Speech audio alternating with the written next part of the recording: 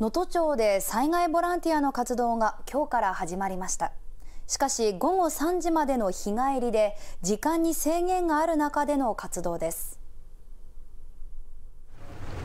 能登町に4時間以上かけてやってきた災害ボランティアを乗せたバスが到着しました。金沢市内からの大移動です。大阪から来ました。えっとなんかお正月からあの地震ですごい大変そうなのを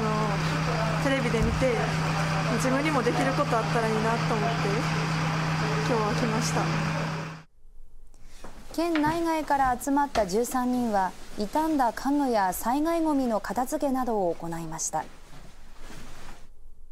普通の汚れ方じゃないからあれどうやっていいかって感じで。いやありがたいですね。もうね本当に助かりますしかし今も断水は続いていて宿泊施設の確保も難しいことからボランティアの活動は午後3時までで日帰りとなります